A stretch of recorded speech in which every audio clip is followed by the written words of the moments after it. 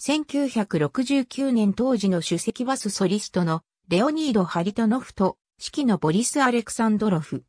広報が合唱団と演奏団2009年のワルシャー公演、アレクサンドロフ・アンサンブルはロシア連邦軍の公式音楽団。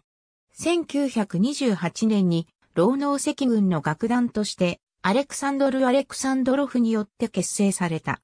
赤軍時代の1928年、モスクワでアレクサンドロフは赤軍所属の合唱団、演奏団を創設する。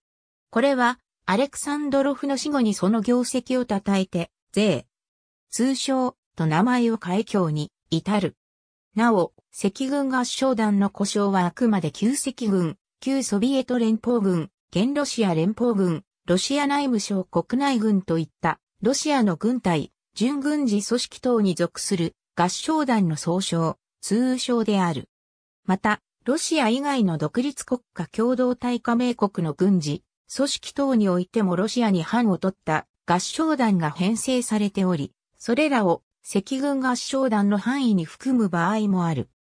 アレクサンドロフアンサンブルは激動の戦前、大祖国戦争を通し、戦後のソ連軍、現在のロシア連邦軍時代と伝統を受け継ぎ、存続し、同国において数多く存在するアンサンブルの中でも最古参として、また、随一のステータスや力量を持つ赤軍合唱団の代名詞的存在である。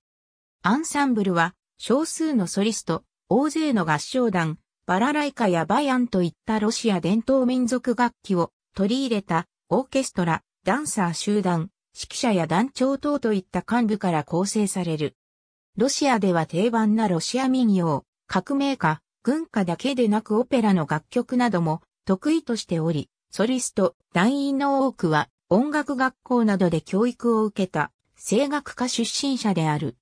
読唱、合唱だけでなく、サーベルを持つコサック騎兵や兵士、水兵に扮したダンサーたちによるコサックダンスやタップダンスといった演舞も取り入れている。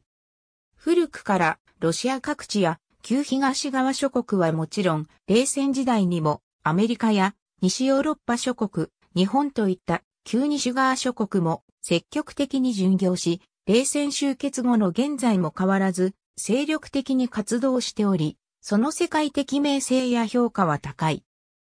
毎年モスクワで行われる対独戦勝記念日の式典での演奏、歌唱や戦術の世界各地での公演のほか、ミレーユマチューのソ連公演でのバックコーラスや1990年代前半のレニングラードカウボーイズとの本格的なジョイントライブ、2004年には、バチカンにて時の教皇ヨハネ・パウロ二世臨席の元御前公演を、2009年には、ユーロビジョン。2009の幕合に、メドレーの披露及び、TATU のバックコーラスを行った経歴を持つ。